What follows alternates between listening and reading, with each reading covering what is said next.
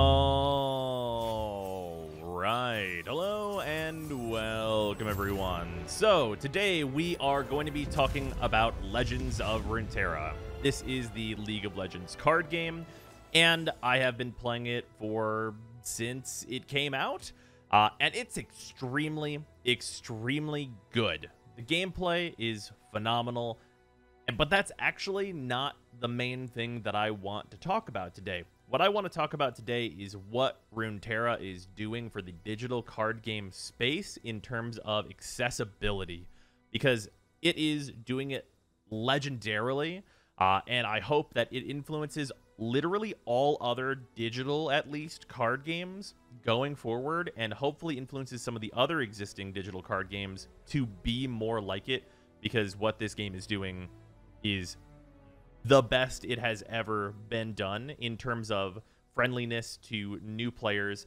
and also just friendliness to your wallet as a card game player or as someone who wants to play a card game for free and still get to play the decks that they want to play. So, with that baseline stuff here, uh, this is League of Legends based. There's a lot of League of Legends theming, but it does not have any real like gameplay connections to League of Legends. It's not a MOBA. There's not five players on teams. Uh, it is 1v1 outside of one special mode where you can have two players on your team. Uh, it is 1v1. You fight each other to the death. Your health is considered to be the nexus. That's like one of the, the main things that is very League of Legends. Uh, and otherwise, you're just going to see a lot of the characters and places that is from League of Legends lore or League of Legends general. You'll see Teemo, Jinx, Elise, characters that you might recognize if you're familiar with League of Legends. That being said, you do not need to know anything about League to play this game. As I said, it is pretty disconnected, and they do a good job of giving a lot of these places and characters flavor all on their own in this game by itself. So you don't really need any foreknowledge going in here other than whether or not you want to play a card game or Maybe you just think you might want to play a card game and then find out you don't like them. Either way, this game is League of Legends themed. So, for that, whenever you get into this game, there are extensive tutorials, very extensive tutorials, extensive to the point that I have not done all of them, and they've added more as expansions have come out for this game. Also, relevant point here, an expansion for this game just came out uh, three or four days ago, depending on when this video goes live. Uh, so there's even even considerably more tutorials than there were before with this Deadly Grace uh, having just been added and such like that, and speeding things up as well, with even more new tutorials for the new cards. So, all of this, full, complete explanations of what's going on in the game and getting in, while also adding to, like, you know, introducing you to the different champions and things that you might have in your deck. And speaking of your deck, the big, the big thing in this game is that it is trivial to put a deck together. It is absolutely trivial because card games in the past and kind of forever have been known for two things. One, they're hard to get into, and two, it's very expensive. Now, this game solves both of those problems because I think this game is very easy to get into because of the extensive tutorialization that they've done and the huge expense that you might expect from like a Hearthstone, where you expect to spend two, three, four hundred dollars on probably getting the deck that you want to put together on card packs and stuff. Uh, that doesn't exist in this game. In this game, if you want a particular deck, that deck cannot realistically cost you more than $30 to fully and completely acquire with each card that you want for it. You can technically spend more than $30, but if you're building a deck that's kind of in any way like good, it's it's very very near impossible to do so. And what that translates to is that there's a lot of decks that you can put together for less than $30 because it's hard to make one over $30 without making a bad deck. And that's absolutely phenomenal. $30 in other card games will get you maybe a starter pack, um, that a deck that sucks, maybe um, a deck that just is like exists, but it's it's just not great. Like you don't feel like you're really like playing like what you want. You're just playing by your means. And this game, you just really don't do that unless you're completely free to play. And if you're completely free to play, I would say that you only do that for maybe the first two weeks, maybe the first one week, honestly, depending on what deck you're going for. And that is a phenomenal, phenomenal thing. So, how does getting cards in this game work and that it can make getting these decks for so cheap a thing? It's really simple. Card rarities cost exact amounts. Champion wildcards are 300 coins. Epic wildcards are 120. And rare wildcards are 30. Commons are 10. And these wildcards translate directly to the card of the given rarity that you want to put in your deck. Now, the really, really smart, big brain intelligence has come in where champion wildcards, you can these are 300 coins, which roughly translates to $3. And you might be saying, well, if you run a bunch of those, it's really easy to get over $30. That's that's only 10 of these would be $30, right? Well, the big brain here is that you can only run 6 champions in your deck permanent. Like you there you cannot go over 6 champions in your deck at any given time whenever you're building your deck. And many decks will run less than 6 often often at least three, but sometimes even fewer than that. So this is the bulk of the cost of a deck, where if you run all six, that's $18, uh, and then these cards make up the rest. So 300 is $3. That means epics cost about $1.20. Rares are 30 cents, and commons are 10 cents. And these are honestly like really, really fair prices. And in most cases, you're not going to be spending money on commons, rares, or even epic wildcards, depending on what deck you're building. And you're going to build those up over time because you're not just going to be purchasing these. That's not the only way to get these. You also have a variety of other ways to get these cards that you're looking for, or the other currency, which is the um, gems to build the cards as well. And gems roughly translate to like basically if you have if you have 10,000 gems, uh, you can think of that as like a thousand coins a thousand coins is ten dollars, so like ten thousand gems is ten dollars. Very easy conversions uh, from the different currencies that you're going to be using and stuff. So, getting these and getting the wild cards is going to come mostly, I would say, from your weekly vault. You play and you upgrade this uh, based on you doing daily quests and things, uh, and you're going to get your chest all leveled up. And at level 10, which is easy, easy to do if you just do your dailies each week, and not even all your dailies. Like if you pick a couple of days to do your dailies, uh, you're gonna get your chests to level 10 really easily, and you're always gonna get a champion wild card every single week, which is three dollars worth of value going towards a new deck, plus the three chests that you're going to be opening that are going to be at much higher quality whenever you get that. You're going to usually have platinum chests, I believe they are, at level 10, which is going to give you like a few thousand of the green gems material. So you're going to get a huge amount of progress towards a new deck literally every single week that you do your dailies. And that at a base level is really, really good. But that is not the only way that you're they're going to keep throwing cards at you.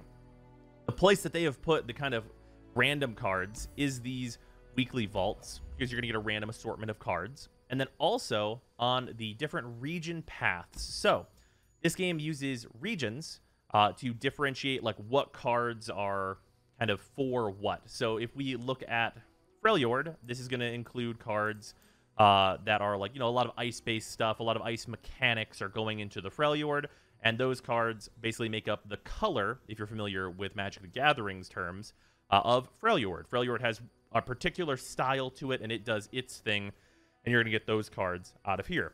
Any given deck can only be one or two colors, so you can have a Freljord and then also Shurima deck, or a Freljord and also Demacia, or a Demacia and a Bilgewater deck, and so on and so forth. There's a number of different regions. So if you're working on a deck from a particular region, say you're trying to build a Noxus deck, you can focus on getting the cards from these different rewards from Noxus, because these are Noxus chests, so they're going to be weighted more towards you getting the cards that you're looking for, which is really nice.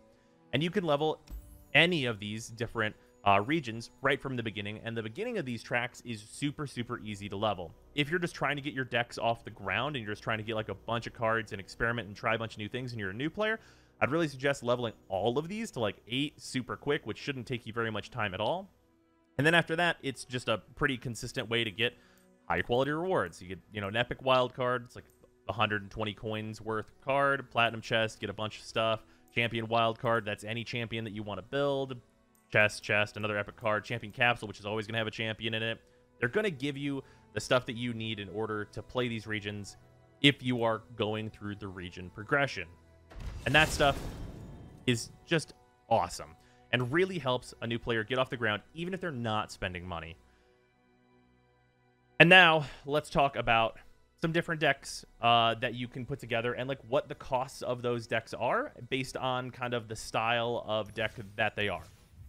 So if we look in here, uh, I have a few different decks that I want to talk about, and the decks that I'm going to be talking about are going to either be brand new, because like I said, the expansion came out pretty recently, uh, or are going to be kind of like longer term or high tier meta decks that you can put together for the, the costs that we're gonna gonna talk about.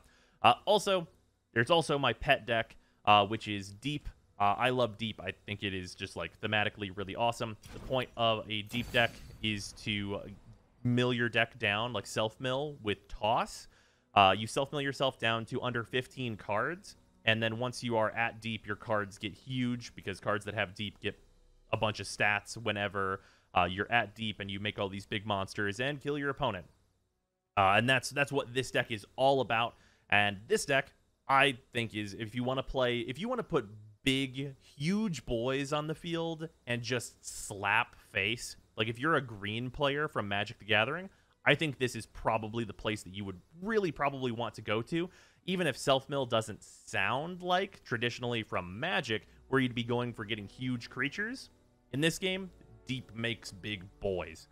Uh, in this deck, runs about uh, 22,700 of the green currency, which is this currency, and then that converts, as you can see, really cleanly down to about 2,270 coins, which is roughly 22 bucks to put this whole deck together from scratch if you're starting with nothing. If you have even, like, every common wild card takes 10 cents off of that, uh, and, like, every epic and all, all, the things takes a bunch of cost off of this deck. And also, just so you guys can see it uh, in the store, you can see the the general costs of how I'm, I'm getting these values. I'm going off of $20 being spent. I'm not taking into account like if you decide to spend $100 on the game, I'm just putting like the very reasonable um like spending 20 bucks on the game and then like calling that, you know, $20 for 2000 coins. This is not some Fantasyland cost of decks that I'm talking about here where we're like considering that you're always going to get um 11,000 coins or something silly like that because I think that's pretty unreasonable personally. And I also feel like most times, if you're going to make a purchase in this game, you're just going to buy the $20 one because you you don't need to buy more than this. This will make the whole deck. So why buy this one unless you're future proofing, which is a thing that you can entirely decide for yourself. Uh, so that is how I'm getting like the numbers that we're talking about here. If you're curious, so that is my my pet deck is is deep and that's about $22 it's on the more expensive side. It only runs three um, nautilus so it's a three champion deck uh, but it runs a lot of epic cards as compared to pretty much every other deck in the whole game. So it runs a little more expensive even though it cuts down on champions. With it because it only needs nautilus of course. Uh, with that let's talk about uh, some of the other meta decks. Uh, we have nasus atrocity uh, this is the deck that I was laddering with last season, and I was in Diamond. Unfortunately, I didn't play as much as I should have to get to Masters, but this is a very, very good deck. This is possibly the single best deck in the game right now, uh, and this deck uh, runs about 25,000 of the green currency, which translates to 25 bucks. So 25 bucks to get basically, you know, I would say, I, I would probably consider this to be the best deck currently in the game. Uh, it just received a little bit of a nerf, but I still think it's absolutely incredible. Uh, and this deck focuses around killing your creatures, uh, and whenever you kill your creatures, that makes Nasus larger, so you get a really huge dogman, uh, and then you use that really huge dogman to slap your opponent to death.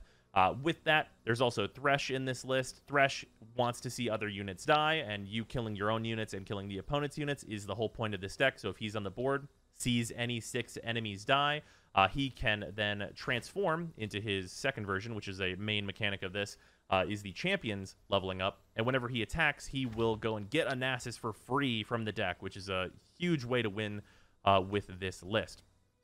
Uh, obviously, I, I, would love to go into depth on any given one of these decks. If you guys are interested, please let me know if this video is interesting in the comments, uh, and I'll go into like what these decks are more about uh, in the future. But I'm just gonna give like really brief summaries of like what's going on here uh, in terms of like what these decks do if you're looking to get into the game.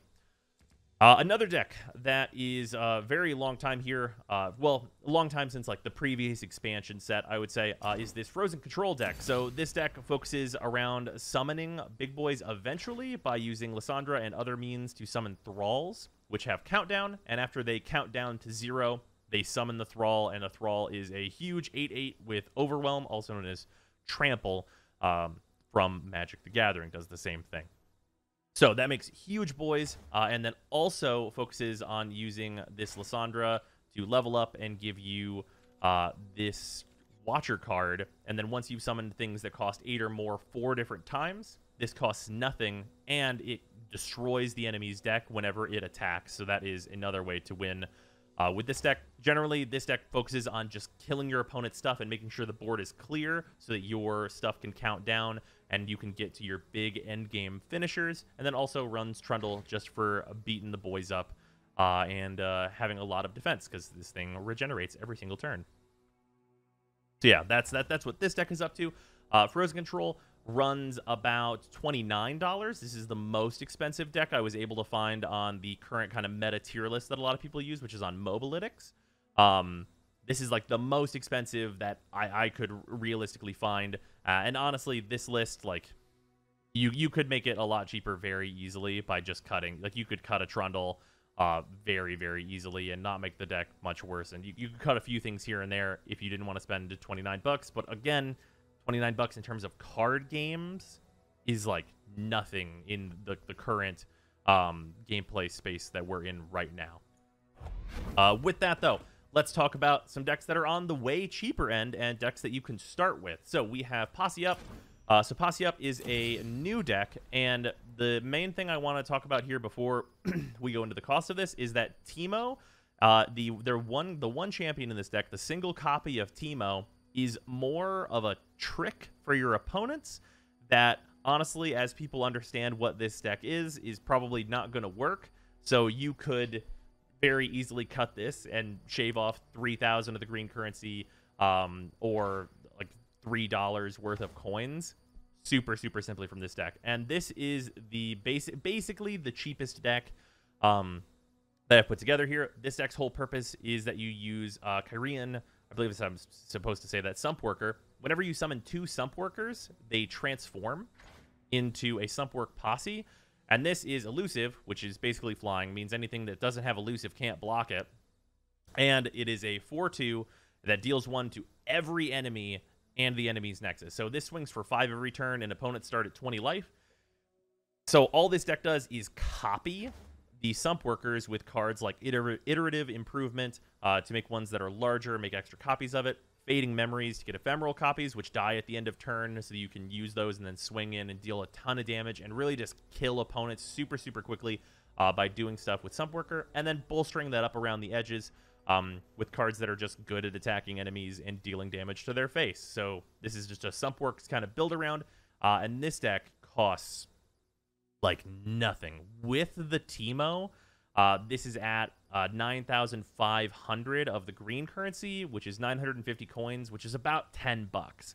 And it's 7 bucks if you take the Teemo out and just throw in another copy of Get Excited, which is probably what I would suggest, or another copy of Unspeakable Horror. Really depends on if you want to throw in another common or another rare. I would say these cards are are both fantastic, and it won't matter too much which one of those you throw in if you want to make this deck cost seven dollars instead of ten bucks. So that's really easy to build around. This is a brand new uh, deck. This card just came out. It's just a really good common. Uh, there are lots of really good commons in this game. It turns out because they're not balancing based on rarity, and that's pretty clear. Another one that is very, very cheap to put together, and that is because you start with a lot of the deck, is Spider Aggro. So Spider Aggro, if we look at this list, uh, this is a uh, Elise list And if you looked at like the total amount that this would cost you, it would be 14,500 of the green currency, which comes out to about 15 bucks. But the trick with that is that you start as a new player with two copies of Elise and a bunch of other cards too. So if you start with two Elise and count those other cards, this deck actually goes all the way down because you lose 6,000 immediately upon having the two Elise. Uh, this deck goes all the way down to $7.50 because you chunk out all of the cards over here in this list. All the cards in this list are the ones that are just going to go directly into the full spider aggro list. And these end up at 7,100 of the green currency. And, and that means you're going to spend, if you wanted to spend on this list, seven and a half dollars, uh, which is really, really easy to put together. And honestly, this is the list uh, this Spider Aggro list is probably the one that is like the easiest deck in the game to put together. I would say if you play for a week with a starter deck such as this one, um, which is like some some good basic stuff. I'll actually throw the deck code for this one uh, down into the description below, so you can grab this if you're a brand new player uh, and just like get in and start playing and see if you like it. This is like a pretty reasonable starter deck. Uh, grab that and just like see if you like it. It's a good way to try out the game. This has like a bunch of different things in it. It's a very aggressive deck that still does some other different types of controlly things sometimes with the cards that are in it. Uh, and that just converts directly into Spider Aggro if you like the aggressive slant of it, or you can convert into like a different deck, like really whatever of your choice, because there are a lot of options of stuff to play in here like legitimately the balance of this game also which is a, a, huge upside is that like i've got two deep decks here which are kind of doing different things. They're different builds. This one uses maokai. This one doesn't have maokai. Um deep competitive deck that i think is like pretty good at ladder especially good against aggro in a lot of cases. Frozen control good against aggro and it has like a nice combo finish. Uh really a fortune is a deck that i've been like kind of like brainstorming and seeing like what it can do since the new expansion uh, not sure like the ladder possibilities of this quite yet because it's not really refined at all. Irelia's Azir is like the new hotness that a lot of people are playing. That's very good. Uh, Nasus Atrocity, like I said, this might be the current best deck in the game. This Posse Up deck is really aggressive and needs to like needs if your opponent doesn't have solutions, it's going to kill opponents really really fast. Um, and that's quite good. Uh, Soraka Kench, uh, this is a control deck that's based around healing and has like alternate win conditions and stuff in it. I would say this is like totally viable. Inspire Aggro has always been great. And this isn't even like all the decks that you can play. There's a huge list of decks and like a huge amount of champions that are all like viable and just good on ladder. Like if you just want to have a good deck that's built around the Lissandra, well, I guess we already talked about the Lissandra one. If you want to build a good deck around Riven, that exists. Jinx has a deck. Braum goes into a deck. Like, Maokai's in a deck. Ashe has her own deck. Like, Renekton has his own deck. Like, there's there's there's plenty of stuff here that's gonna be like, oh, I just like Zoe. Well, turns out Zoe's really good, so you can just build a list around Zoe, and then off to the races you go. You want to build around Lucian? Do that. That deck exists and is pretty good. Is it tier one? Maybe not. It might be like tier two, but the difference between tier one and tier two in this game is not that far, and it's going to really depend on like matchups in a lot of ways. Like if you're going against Fizz and you're a deck that has a lot of expensive removal, expensive removal is not good against Fizz. You know what is good against Fizz? Really cheap removal. Lots of different, lots of pieces of really cheap removal going to be very easy to kill Fizz, or AOE stuff makes it easy to kill Fizz. Uh, but like the different things that the champions do because they're all quite different um, makes each deck have its kind of own unique matchup in most different cases. And sometimes that boils down to, hey, Lissandra is good against aggro. Yeah. And like Fiora is a combo card that is great against decks that are going to run out a bunch of really small units that she can kill easily because she has a special condition where you win the game if this unit kills four different uh, opponent's creatures. So if they if they if they can't deal with Fiora and like you protecting her with your other cards, and they're gonna play a bunch of units, they're gonna have a bad time. But if they're a deck that doesn't play hardly any units, then you're not going to get to the Fiora win condition, et cetera, et cetera. There's all kinds of interesting decisions and gameplay stuff that I could go into for honestly probably hours. But yeah, it's just a it's just a phenomenal, phenomenal game that's so accessible and it's great from like it's not that it's just so accessible in that it's cheap. It's also that it's legitimately a great card game that is doing new stuff. Uh, and man, I just I'm so happy with it. It's just phenomenal. Uh, I've played this a bunch on stream recently. Uh, if you guys would like to go check that out, that is up on the Stream Archives channel. Should be should be up now on the Stream Archives channel, um, which is just Brozime Stream Archives. If you've not seen that channel, uh, we play a bunch of games there. Play a lot of the the new decks from the new expansion, and then I was laddering with the Nasus deck like the night before that, so you can see the competitive play on kind of both ends, kind of no matter what's up there. Oh, also, last thing I should probably show is like my just general collection stuff. I've been playing since launch, and like if you want to see like generally what I have. This actually gives you a really nice breakdown of like everything that you've collected based on region, and it even gives you the, like the breakdown per the expansions, where Foundations was the opening, and then Rising Tides was the first expansion, Call of the Mountain was the second, and then Empires of the Ascended is the third and newest expansion. So tons and tons of stuff here.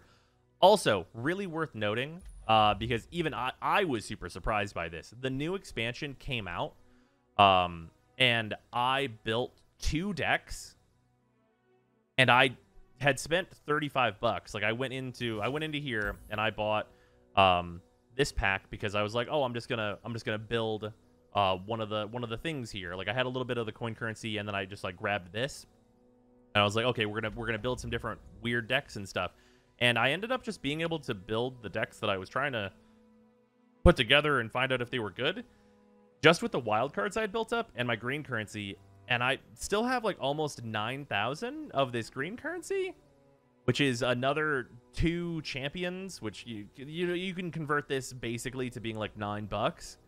And 9 bucks if you were paying attention to how much these decks cost is like half a deck on its own. Uh, or or a full deck in the case of like the uh, the posse deck and the uh, the spider aggro starter deck. So yeah, it's it's just so cool and easy to get into. Uh, and yeah, I just want I just wanted to discuss it because I think it's it's just really it's really putting to shame games like Hearthstone uh, and other expensive online card games. But yeah, hopefully you guys have enjoyed this video and discussion, uh, and I will see you tomorrow.